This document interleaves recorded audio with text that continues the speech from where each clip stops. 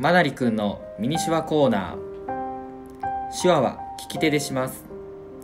両手を使う手話で形が違う場合は動きのある方を利き手でします。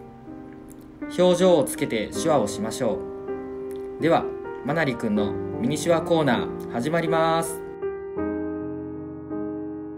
紐が緩まないように締め直す仕草です。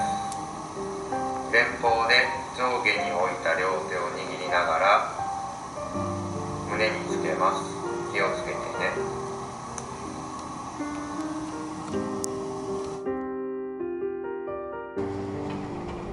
気をつけて。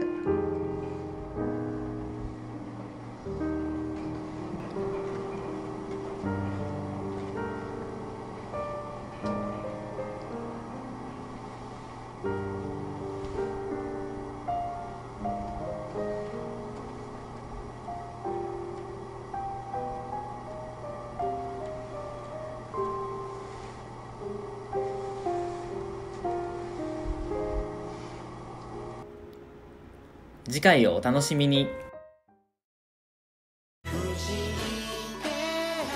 小さな心つないでみんなで支えて暮らしてく。